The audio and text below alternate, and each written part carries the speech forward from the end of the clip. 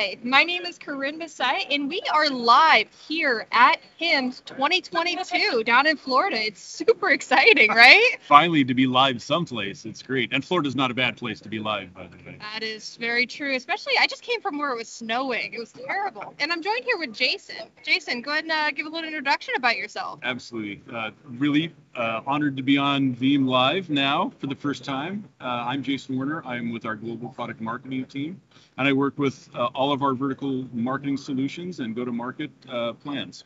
And I came from snowy Salt Lake City, so believe me, showing up in Florida uh, and actually seeing people for the first time in, in a long time is great. So, to kick off, I want to let everyone know we've already told you where we're at. We want you to head over where you're viewing us from and post in chat where you are so we can start to fill out our map. We, our map is officially back. The We're map is back. light up as much as we can green. Uh, so far, we have Georgia, Florida, and I think we have one over in Europe here. Romania. Yep. More to come.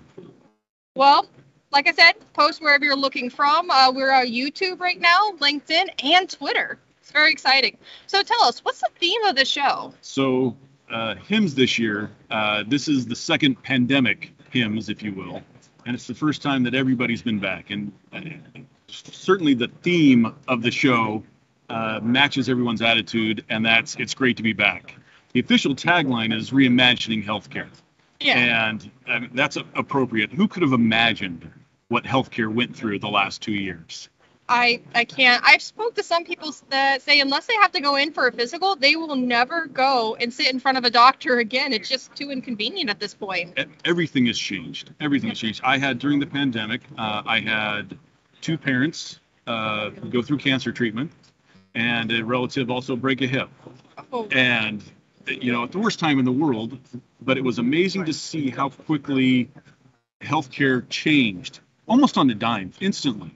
Uh, and and so that reimagined theme is, is very prevalent, and everyone is talking in context of how things were two years ago and how we can take it forward in the future, um, and getting back to normal.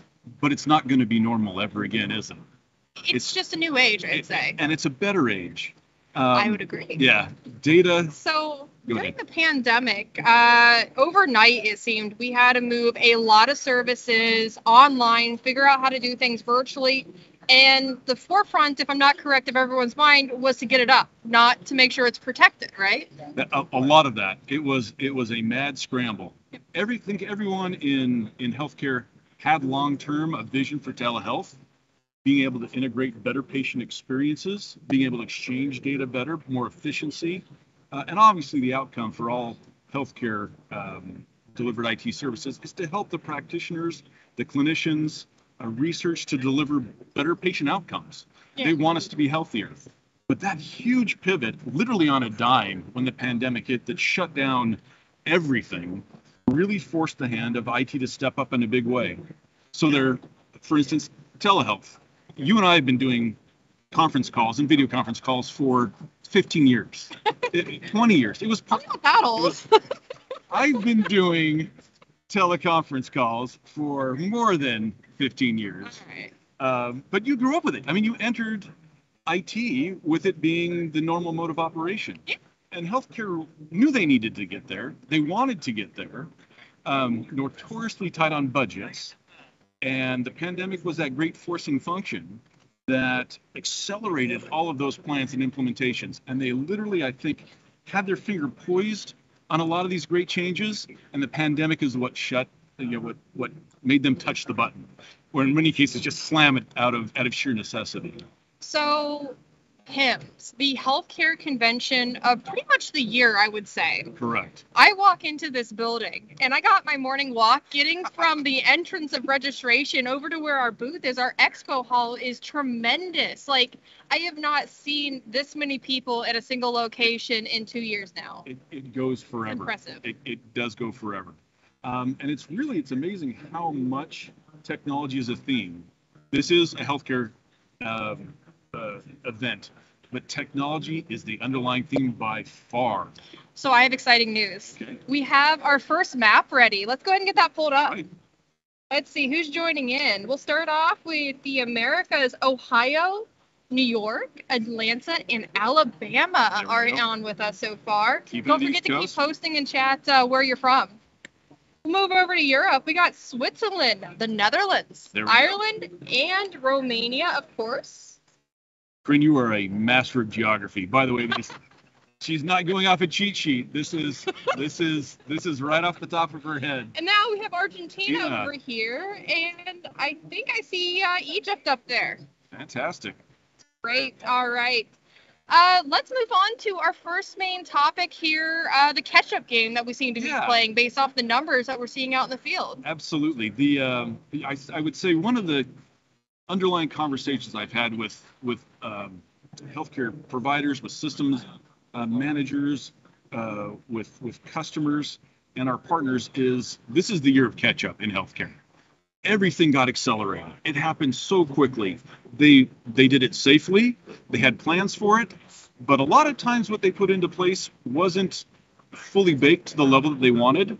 They didn't go through all the testing. Um, th- everyone very much uh, stresses that precautions for HIPAA, for data security, encryption, all those things were in place, but it was the processes around uh, that really caught them off guard that they've had to really catch up this year. And so I think there's going to be a lot of data quality management uh, committees being made up of several functional organizations within the ITs. But you just don't think about this. You have actual data and statistics. Let's hop right into Yeah. some of these statistics that we have uh, going from our data protection report. Am I correct? You bet. You guys lost a couple weeks of your life trying to make sure this was right for everyone. we did. And this is a little preview. So Yes. tomorrow I'm going to publish a blog on Veeam.com, and we're going to have an executive brief that goes through just the healthcare cut of our annual data protection trends uh, report. And if you haven't seen it, uh, it's out there today. The full report, the global numbers are there. But we had enough participation in healthcare that, that we, we took some cuts. Um, this this should not surprise anyone in um, in healthcare, but cost management and economics are a huge driver in everything that healthcare does in IT.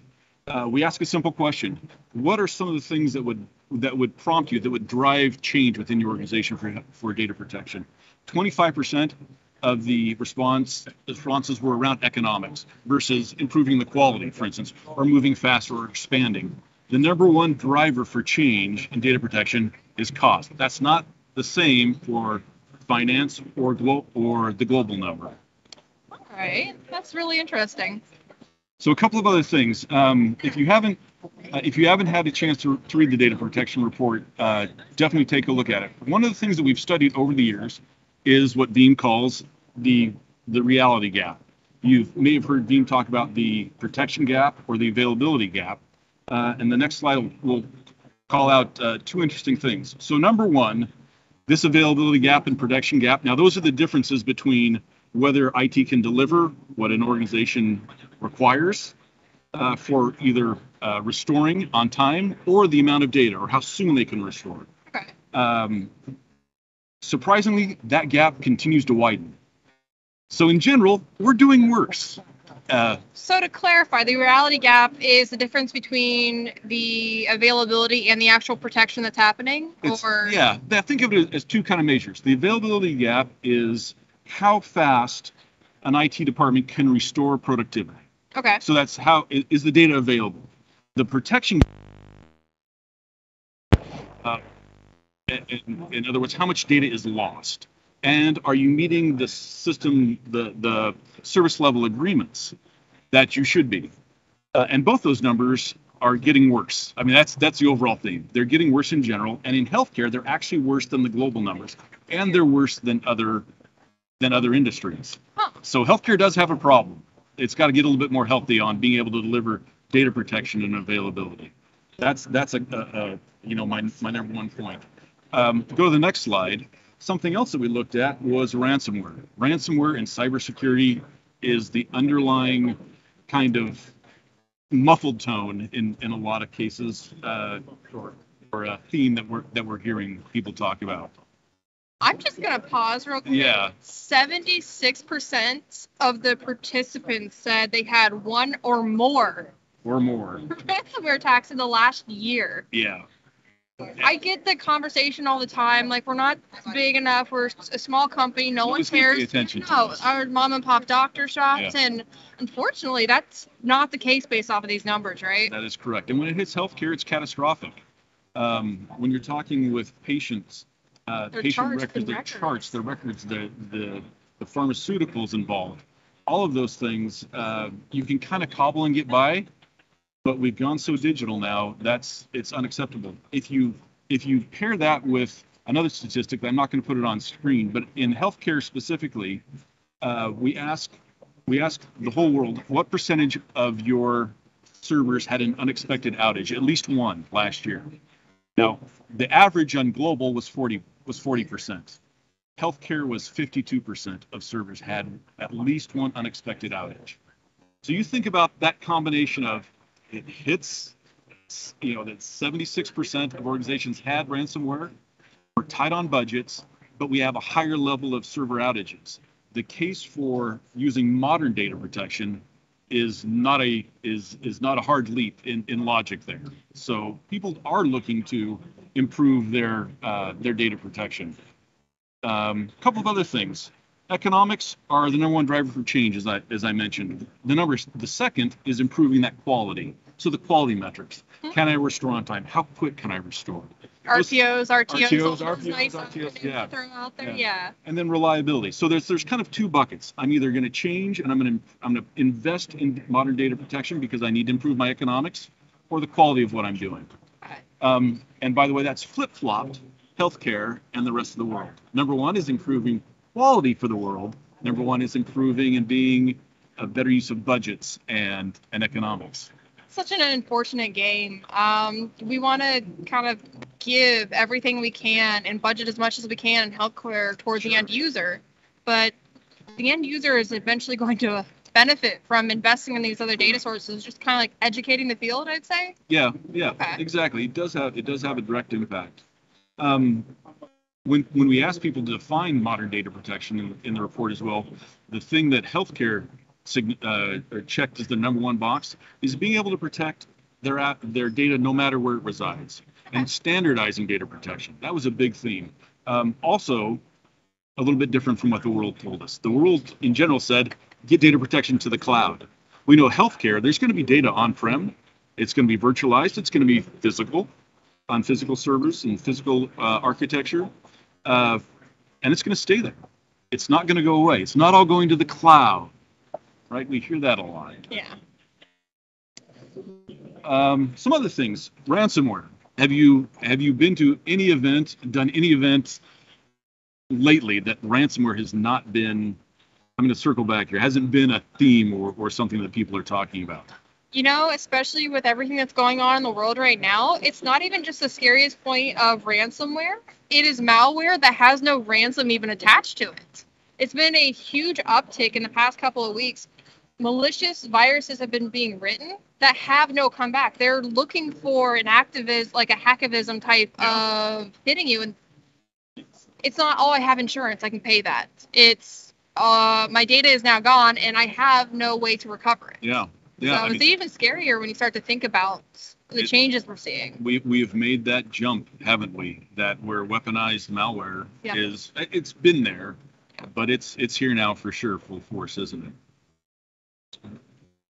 Um, other other things that that that are interesting. Um, one of the one of the the data related issues that I thought was really intriguing was a, a session that I attended uh, from one of the healthcare leaders in Germany, and he talked about uh, being able to exchange data um, and who owns data. And once you once you take control of it, you have a responsibility and obligation. There's really, I mean, there are a few sacred relationships between a person and a profession, like the medical industry. And we think uh, our HIPAA is pretty bad here. GDPR over there is a very serious uh, topic. They, it is, and and I think we're going to see a leveling of that that playing field for for all countries in the world. Um, Good. he yeah, yeah, It's about time. We all should kind of catch up with these types of standards. yeah. One of the interesting things that he was talking about was that through a digital health initiative in Germany, they've actually approved apps on your phone Mhm. uh, as a class one and class two medical device. So your doctor could prescribe you, and your insurance company would cover the cost of an application that makes you healthier. So think about anxiety disorders, any application that would change a behavior or track a level of health is now welcomed into that healthcare ecosystem of data that your doctor can can uh, lean on and can use to diagnose. Do you spend how much time do you spend with your phone? I don't want to talk about Yeah, that. it- it's always on. It's always there. And when you combine that with things like wearables that would be able to monitor constantly, and you just you just looked right. Um, I've resisted, but I think you know for Father's Day, I, I I'm pretty sure I'm going to have be sporting some type of watch. Um, a doctor wants to spend more time with the patient. He wants to, and she wants to draw on the data that's available. Today, they're looking at a EKG or a um, a blood pressure measurement that happened at a single point in time. What if the doctor can collect that data from an application and securely bring it into those records and then make diagnosis based on what happens when I'm at home dealing with my children, for instance, right? when I'm in the doctor's office, I'm pretty calm, right? Vacation. I'm dealing I'm dealing, you know, with my golf game or my kids, my blood pressure's off the scale. He needs to or she needs to see that, right? But th- that's that calls out the fact that we're going to be exchanging data. And once you take control of that, number one, you're going to have an explosion of data. We know it's coming. Um, and and you have to manage that. That data needs to be part of the permanent record. But think of those sources of data that will be coming in to healthcare that will be available in, in future years. it's hard to imagine, but it's going to be really cool. It's it's Speaking of data, we have a new map ready. okay. Let's Show me the map. Look at the map and see who's listening in now. I think we have the addition uh, in the United States of Wisconsin. I like when Texas gets on there. There's bigger states There there go. to make it look. Am I seeing a. Michigan there? Sorry, I, I have to take my glasses off. Nope, nope. no okay. Michigans. We'll have to check back to see if we get someone from Michigan tuning in. Now we have Spain has joined us. Welcome, Is Spain. Bienvenido Peru. and Peru. Nice. All right. Again, if you are just now joining us, definitely post where you're at. We'll get you added to this map, and uh, you have some more points for me, don't you? Uh, just maybe a couple. Um, you know, one of the things that that is clear is the way we used to do data protection is not going to work going forward. Uh, the scale of it, the flexibility of it, um, the complexity of it, and the tactical deployment of it just doesn't fit the new paradigm in healthcare. You you've got to have something that brings a level of sophistication to look across all your data. We need to talk about it beyond economics. Yeah, yeah. because reputation can also like these factors that aren't just numbers you can put down on a sheet i found could be the biggest drivers they didn't realize this one attack was going to be so impactful to their environment yeah, yeah. having this trust. hard conversation Yeah, and, and it's it's that granted trust that that you're providing your healthcare provider that that one-on-one relationship with with your doctor with your clinician. How would you Um, like to walk into a one-on-one relationship and not have the data from your patient your Yeah. history from your patient It, it, it there's it takes that takes us back almost to the dark ages compared to what we're able to do. Um, but just to just to to close out um, for healthcare, needing needing a solution that's that's cost effective that works into the overall budget, working uh, works within the overall architecture across the cloud on premises because we're going to be managing that data for many many many many years. Uh, and then brings a level of automation, especially for larger organizations where data protection has to provide that recovery in an automated way that uh, that gets whole systems back up. We're not talking about single doctors here. We're Yeah. talking about large scale systems that need to be online and recover quickly. emergency rooms Yeah. Uh, that that business of the business uh, needs to be looked after.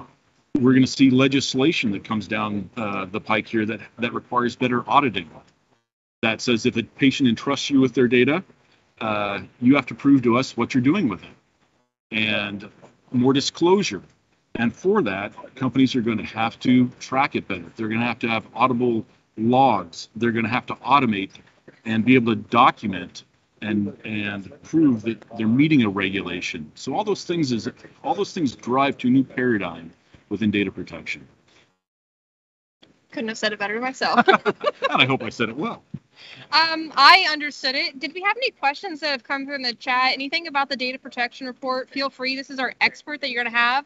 Uh, you have that report coming out tomorrow, but it's not the same as getting the asset coming out. That's true. That's true. So I'll put up. So I, I did give you a little bit of speak, uh, sneak peek into the data that we're going to have on the healthcare cut of that data.